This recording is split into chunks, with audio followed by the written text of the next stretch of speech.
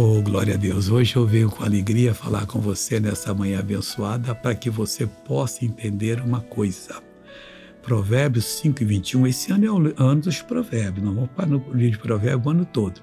Diz o seguinte, porque os caminhos do homem estão perante os olhos do Senhor. Olha, não vá para onde não presta. Não faça aquilo que Deus condena, mas busque o Senhor Deus, porque Ele está olhando para você e quando Ele vê sinceridade, esforço seu, Ele vai abençoar você.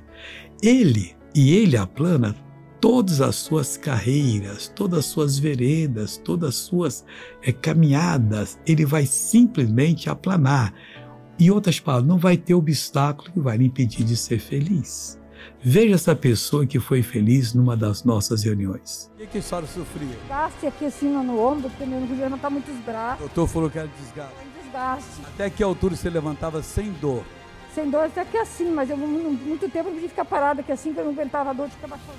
Agora pode. Agora pode. Com a dor aqui assim, eu não conseguia baixar assim. Então abaixo faz tudo que você não podia fazer agora. Esse Deus é tremendo, pessoal. Esse é o show da fé, o show da vida. Agora eu quero orar com você. Vamos buscar Deus, Pai. Estamos entrando em tua presença em nome de Jesus para abençoar toda pessoa que precisa da tua ajuda. Eu uno a minha fé com a fé dessa pessoa. Eu repreendo esse mal.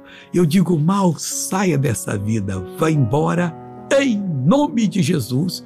E você diz: obrigado, Jesus, e amém.